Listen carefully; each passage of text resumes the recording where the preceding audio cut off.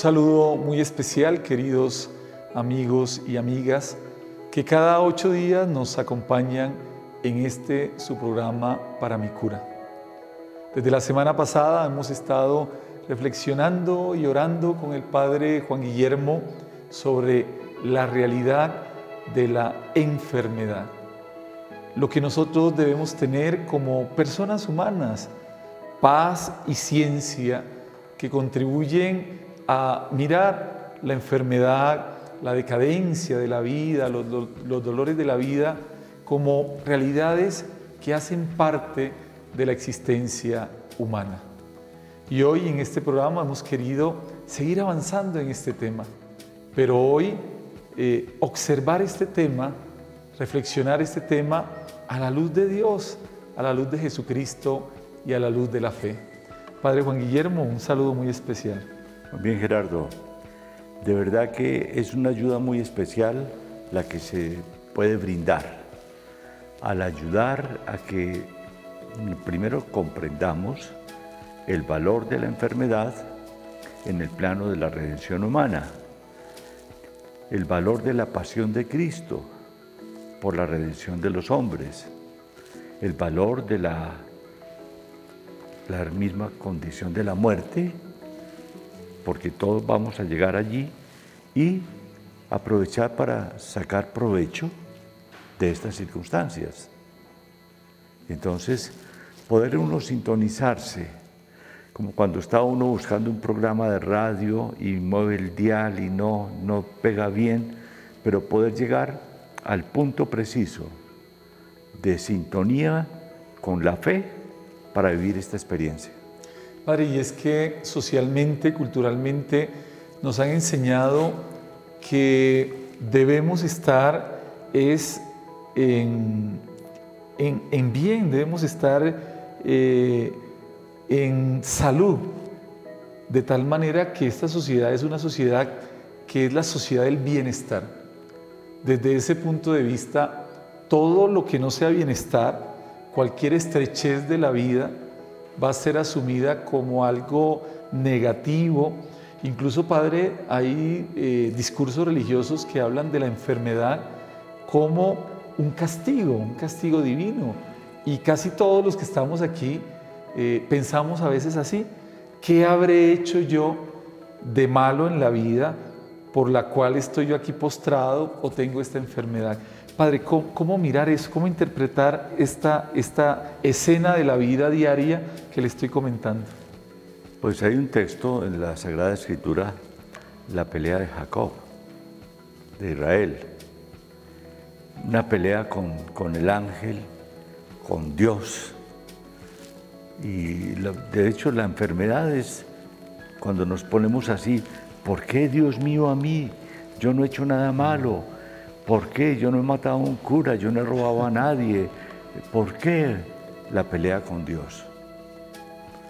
Pues sí, esa pelea hay que bajarle de tono. Y yo cuando veo que hay posibilidad de decirlo, lo digo. Bueno, lleva esta pelea, pero hagámonos pasitos. ¿Por qué? Porque al final Dios es el que gana. Dios es el autor de la vida, es el autor de la salud y permite la enfermedad quizás para algo bien importante. Entonces, al descubrir ese algo más importante, yo también gano. Entonces es la pelea con Dios frente a la enfermedad. Padre, ¿cómo entender ese texto de San Pablo de la carta a los colosenses cuando él dice en el capítulo 1, versículo 24 lo siguiente, ahora me alegro de mis sufrimientos por ustedes, porque en mi carne completo lo que le falta a los sufrimientos de Cristo, porque hago parte de su cuerpo, que es la iglesia. ¿Qué significa eso, Padre?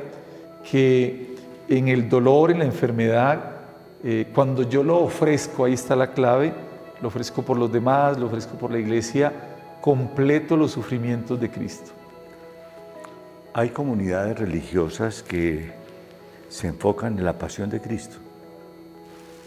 Eh, santos que por la cruz de Cristo, por los dolores y eso da para entender que precisamente cuando podemos sintonizarnos con el Cristo doliente, con el Cristo que sufre, entonces San Pablo ha tenido sufrimientos, ha tenido persecuciones, naufragios, latigazos, juicios, de todo le ha pasado. Entonces, bueno, ¿y por qué? Y es donde va, va dando esa clave completo en mi cuerpo.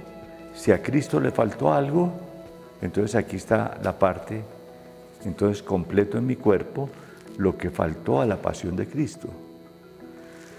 Es una posición, digámoslo, mística, porque una madre Laura sufriendo eh, en su cama, allá en el convento, o cualquier santo en su dolor, y entonces lo está ofreciendo como un sacrificio por la redención de alguien.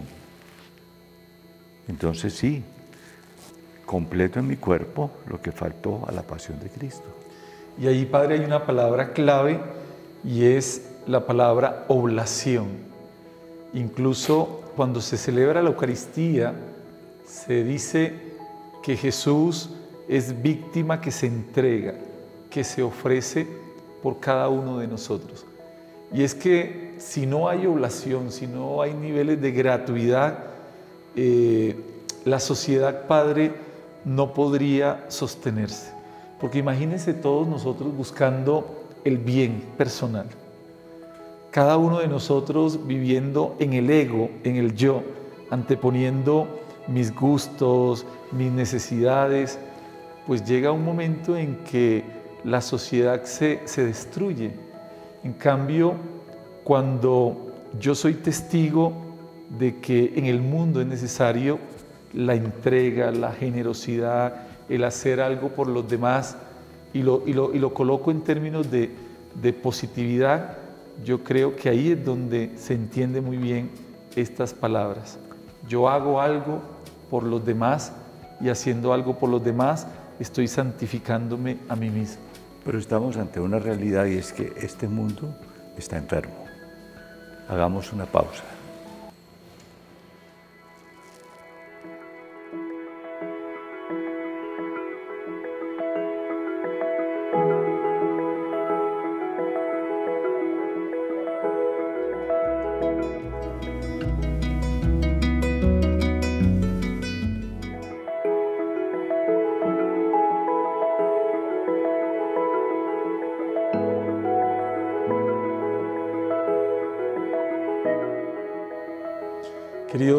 Y amigas, en este segundo segmento donde estamos eh, reflexionando sobre el sentido salvífico del dolor, del sufrimiento, de la enfermedad, qué hermoso que cada uno de nosotros tome conciencia de que en el camino de la vida, tarde que temprano, nos vamos a tropezar con el dolor nos vamos a tropezar con la enfermedad, nos vamos a tropezar con la decadencia, con el sinsabor. La vida es un carnaval, claro que la vida es un carnaval, pero sucede que en la vida también hay momentos donde eh, no todo es carnaval. San Juan de la Cruz lo llamaba la noche oscura de la fe, Padre. Y yo creo que teológicamente, místicamente, el enfermo está atravesando la noche oscura.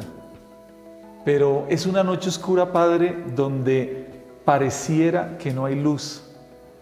Pero no es que falte la luz, sino que hay un exceso de luz. Como cuando miramos al, al sol directamente, pues nos encandilamos, no porque no haya luz, sino por exceso de luz.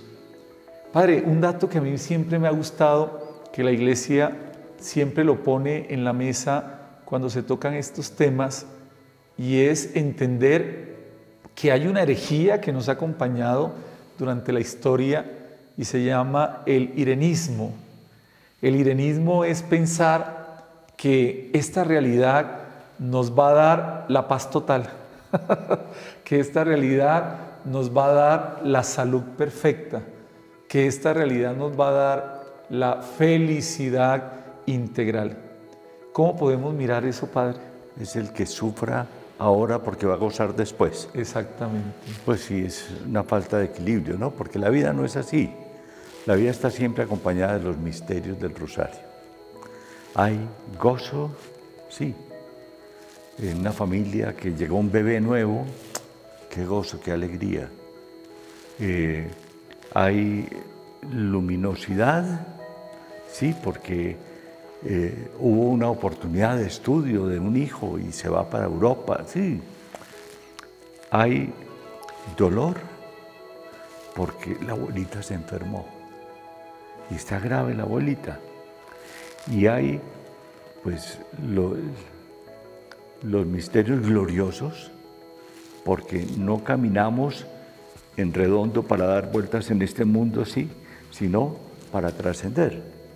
Entonces, con los misterios del rosario uno encuentra que tienen una verdad oculta, pero también... Que es la vida en pequeño. Sí, sí, que uno pasa por todos esos episodios de gozo, de luz, de dolor y de gloria.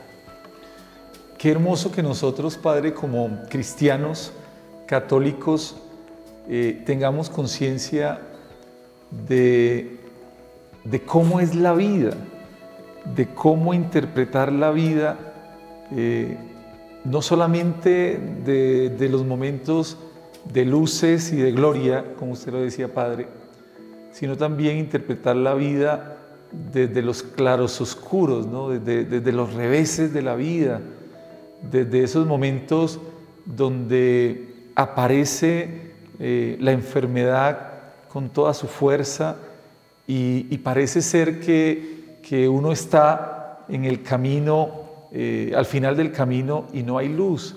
Parece ser que llegamos a un abismo, al abismo de la nada. Padre, un dato que a mí me gusta muchísimo y es que en, el en esos momentos de oscuridad, de enfermedad, de estar postrado en una cama, podríamos nosotros pensar, y ahí entra lo que estamos hablando, el sentido salvífico del sufrimiento, podríamos pensar que, es una oportunidad, es un momento para la batalla contra la desesperación. El catecismo de la iglesia dice que la desesperación es un pecado, pero es que todos nos desesperamos, Padre. ¿Cómo no desesperarnos? Esa sería la pregunta, Padre. Pero entonces uno vive a veces de ideas fuerza, ideas que la vida le va dejando, ¿no? Mañana será mejor. Es una luz de esperanza. Sí, este problema, esta situación, esta crisis, esta fractura, mañana será mejor. Y hay que hacer todo lo que esté de nuestra parte y pedirle a Dios para que mañana de verdad sea mejor. Padre, las citas bíblicas definitivamente consuelan mucho. Por ejemplo, la cita bíblica de Mateo 11, 28 al 30. Venid a mí todos los que están cansados, enfermos, agobiados, depres, en soledad, tristes y todos los problemas de hoy en día, que yo les aliviaré. ¿Cómo buscar alivio en el Señor en esos momentos? Yo creo que ahí está el reto, Padre, porque le voy a contar, uno sigue al Señor un día, otro día, pero apenas llega la experiencia del dolor, de la tragedia, de que las cosas no salen como yo quiero, eh, lo que tendemos es olvidar al Señor y alejarnos de, la fe. Pero lo que digo yo de palabras claves, ¿no? El abandono. El abandono no es abandonarse a lo que pase, no. El abandono es un acto de conciencia de poner en las manos de Dios este trazo de la vida, esta situación. Yo me abandono en ti, haz de mí lo que tú quieras.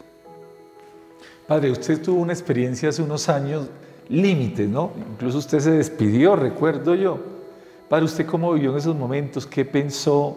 ¿Cómo lo asumió usted en su humanidad? ¿Y cuál fue la respuesta de fe? Cuéntenos esa experiencia, Padre. A ver, doctor, estoy en el quirófano. Doctor Santos, ¿usted es el primo del presidente? No, él es primo mío. Entonces nos reímos. Luego, ¿puedo hacer una oración? Sí, Padre, bien pueda. Entonces hice la oración del abandono. Es una oración profunda, una oración, pero como el Padre nuestro, en las manos de Dios. Y entonces, cuando llegué al final, decir amén, se me, se me apagó la luz. Y entonces hagamos una pausa.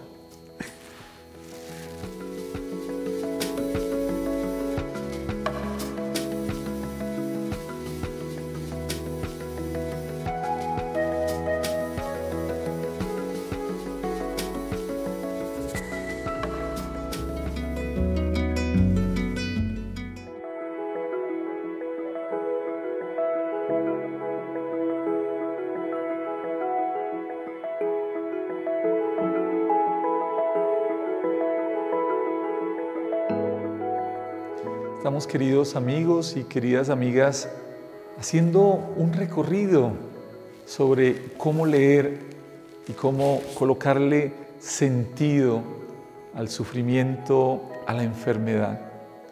Y somos conscientes de que, de que ustedes, de que nosotros hemos pasado e incluso estamos pasando por momentos difíciles de enfermedad. Mí me consuela mucho, Padre Juan Guillermo, en este programa el sentir que allá hay hermanos que están en los hospitales, que están en las casas, de pronto tendidos en una cama o en una silla con una enfermedad. Y que estas palabras lleguen no solamente a sus mentes, sino también a sus corazones. Padre Juan Guillermo nos estaba relatando una experiencia de dolor, de enfermedad y nos estaba diciendo qué se siente o qué sintió usted en esos momentos y con qué idea, con qué experiencia, por decir así, volvió otra vez a la vida, Padre. Las cirugías con, con anestesia general son un morirse y nacer. Como cuando uno se duerme por la noche, todo quieto, y despierta en la mañana. Y entonces, bueno, yo terminé la oración y se cerró todo. Al quinto día desperté, pero ya estaban pensando que no iba a despertar. Al quinto día, después de una cirugía de corazón, se despierta normalmente al día siguiente. Bueno, yo despierto porque me ponen un video para que yo lo escuche de mi sobrinita llamándome, Juangui, Juangui.